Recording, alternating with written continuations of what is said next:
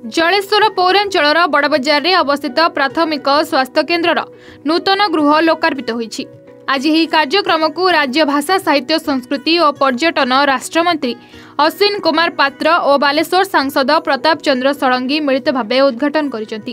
ଏହି ଗୃହ ନିର୍ମାଣରେ ଏନ୍ଆର୍ଏଚ୍ଏମ୍ ପକ୍ଷରୁ ଅଣଚାଶ ଲକ୍ଷ ଅଡ଼ଚାଳିଶ ହଜାର ଛଅଶହ ଟଙ୍କା ବ୍ୟୟ କରାଯାଇଛି। ଏହି ଚିକିତ୍ସା କେନ୍ଦ୍ରର ପାଚେରୀ ଓ ଫାଟକ ନିର୍ମାଣ ରୋଗୀ ଓ ତାଙ୍କ ସମ୍ପର୍କୀୟ ଲାଗି ପ୍ରତୀକ୍ଷାଳୟ ଶୌଚାଳୟର ଆବଶ୍ୟକତା ସମ୍ପର୍କରେ ଆଲୋଚନା ହୋଇଛି।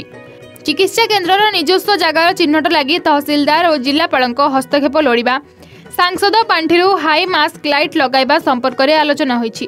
ଅନ୍ୟମାନଙ୍କ ମଧ୍ୟରେ ପୌରପାଳ ପ୍ରଦୀପ କୁମାର ପ୍ରଧାନ ପୌର ନିର୍ବାହୀ ଅଧିକାରୀ ଅଜୟ ମହାପାତ୍ର ଜିଲ୍ଲା ପରିଷଦ ଉପାଧ୍ୟକ୍ଷା ଅନୁସୂୟା ପ୍ରଧାନ ବିଡିଓ ପୁନମ ରାଉତ ବ୍ଲକ ଅଧ୍ୟକ୍ଷ ମାନସ ଜେନା ପୌର ଉପାଧ୍ୟକ୍ଷ ପୁଷ୍ପପ୍ରିୟା କାମିଳା ସଚିନ୍ଦ୍ରନାଥ ପାଢ଼ୀ ପ୍ରମୁଖ ଆଲୋଚନାରେ ଭାଗ ନେଇଥିଲେ।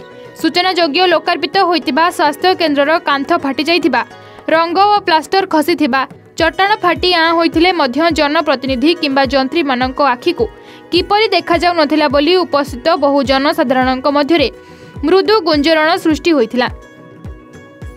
ସାମ୍ବାଦିକମାନେ ଜନୈକ ଅଧିକାରୀଙ୍କ ଦୃଷ୍ଟିକୁ ଆଣିବାକୁ ଚେଷ୍ଟା କରିଥିଲେ ମଧ୍ୟ ଏହା ମରାମତି କରାଯିବ ବୋଲି କହି ଏଡ଼ାଇ ଯାଇଥିଲେ। ତେବେ ଲକ୍ଷାଧିକ ଟଙ୍କା ବ୍ୟୟରେ ଏଭଳି ନିମ୍ନମାନର କାର୍ଯ୍ୟକୁ ତଦନ୍ତ ହେବା ଆବଶ୍ୟକ ବୋଲି ଉପସ୍ଥିତ ବହୁ ଲୋକ ପ୍ରତିବାଦ କରିଛନ୍ତି। ସାରା ଓଡ଼ିଶାରେ ଡାକ୍ତର ସମସ୍ୟା ଅଛି। ଏ ବିଷୟରେ ମୋର ବନ୍ଧୁ ଚାଲିଗଲେଣି ନବ ଦାସ ମନ୍ତ୍ରୀ ଥିଲେ। ତାଙ୍କୁ ବି ମୁଁ ବାରମ୍ବାର ଭେଟି କହିଛି ସେକ୍ରେଟାରୀଙ୍କୁ ବି କହିଛି ଲେଖିକି ବି ଦେଇଛି। ସେ ଦୁଇ ହାତ ଟେକିକି କହିଲେ ଜଗନ୍ନାଥ ଭରସା। କାରଣ ଆଉ ଦୁଇ ତିନି ବର୍ଷ ଅପେକ୍ଷା କରିବାକୁ ପଡ଼ିବ ବୋଲି କହିଲେ। ମୁଁ କେମିତି ହେବ?